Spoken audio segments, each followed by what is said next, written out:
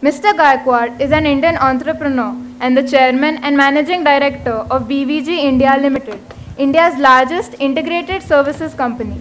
His company focuses on jobs which are thought to be of less importance.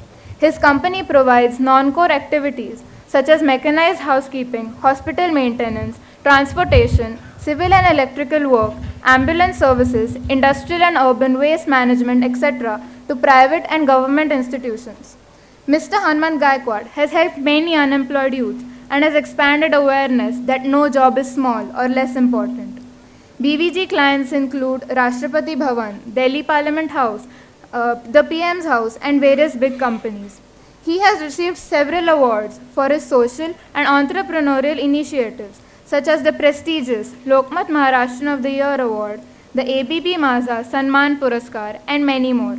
With this, I invite our keynote speaker, Mr. Hanmant Gaikwad, to talk about his journey. Let's welcome him with a big round of applause.